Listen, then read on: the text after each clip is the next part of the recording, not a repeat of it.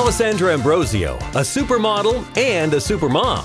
Catwalk queen Alessandra Ambrosio showed off her incredible figure in a variety of beachwear for a photo shoot on Malibu Beach in California. But the Brazilian beauty didn't let a smoking hot photo shoot get in the way of being a mom.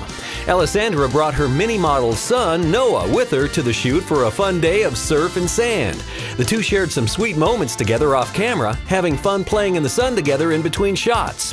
When a camera was on, the bikini babe smoldered on the sand in an assortment of beachwear. She looked slim and sexy while showcasing her incredible physique in a snakeskin print string bikini with a white lace and feather high waisted skirt. Up next, she showed off her flawless figure in a fun black and white fringe skirt and string bikini ensemble with a black hat shading her eyes. The supermodel stopped for a quick squeeze from her son before shooting her next look, a stunning floor length swim cover up. Saving the best for last, Alessandra showed off her taut and toned stomach and impossibly long legs in a black cropped turtleneck top with black swim bottoms with buckle details. Beautiful bikini babe Alessandra Ambrosio left us breathless with her beach looks and warmed our hearts with her love for her son.